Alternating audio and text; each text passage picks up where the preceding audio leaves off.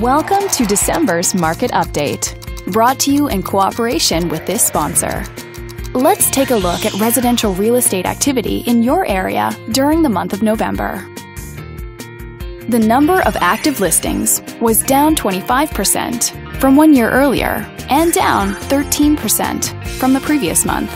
This smaller inventory means that buyers who waited to buy may have had a smaller selection to choose from. As you can see, the median listing price for the month was just under $180,000. Compared to last year, the average number of days that units spent on the market before being sold was up 24%. This higher number of days may signal a slowdown in the local inventory turnover rate. The median sale price was just under $160,000. The number of units sold increased 15% year over year and decreased 40% month over month. Higher year over year figures indicate that more buyers have been finding what they're looking for. Thanks for watching. We hope you use this information to make smart, informed decisions in your upcoming real estate transactions.